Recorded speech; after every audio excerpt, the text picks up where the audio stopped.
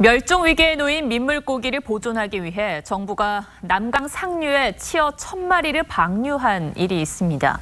깨끗한 물에서만 사는 여울마자라는 물고기인데 지자체가 이 서색, 서식지를 파헤치는 황당한 공사를 했습니다. 어찌된 일인지 이성진 기자가 취재했습니다. 경남 산청 남강에 어린이들이 여울마자 치어를 방류합니다. 이 물고기는 모래와 자갈이 깔리고 수질이 깨끗한 여울에서만 삽니다. 우리나라에만 나오는 고유종이거든요.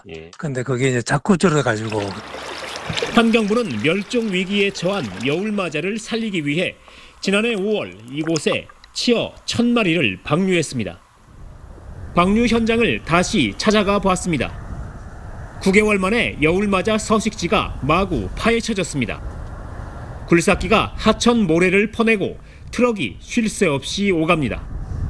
지난해 10월부터 두 달 동안 굴삭기 수십여 대가 둔치와 강 바닥을 파헤치면서 하천 곳곳이 전쟁터 폐허처럼 변했습니다. 파헤치니까 이제 뭐 흙탕물도 나고 서식지가 파괴되고 지금 뭐 여울 같은 것도 많이 없어지고 모래도 없어졌고 경남 산청군은 현장에 설치한 멸종 위기종 방류 입간판을 보고도 공사를 시작했습니다.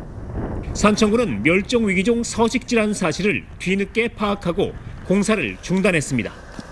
이 문서상으로 왔다 갔다 했으면 우리가 파악을 해가지고 아 이게 어, 멸종 위기 여정이구나 판단을 했을 건데 하고 우리가 사업 추진을 안 했을 건데 산청구는 하천을 복원하고 환경단체와 여울마자 서식 실태를 조사하겠다고 밝혔습니다. TV조선 이성진입니다.